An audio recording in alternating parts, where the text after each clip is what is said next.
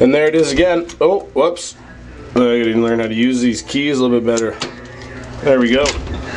All right, let's go see how Caleb's doing here. He's been busting his ass in this place. The good old gym at the Parktown Hotel. I'm thinking he should be in the hot tub was the final place he should be. Let's just go see how he's feeling. I'm hoping groggy. I'm hoping shitty. Let's see what's up. Caleb, how's it going? Alright, feel lightheaded. Feel a little lightheaded? A little bit of thumbs up Yeah. for all the uh, fight fans out there on the video blog. Give him a thumbs up, brother. Right on, man. All right. How's it going, VIP? Yeah.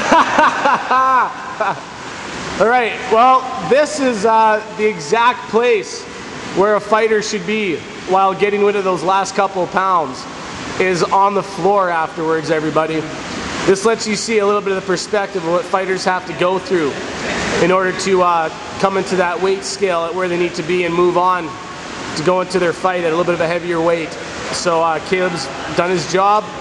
He had a couple pounds to drop. We're gonna hitch you back up to the room. We're gonna see where his scale's at, and then we'll see everybody at the weigh-ins.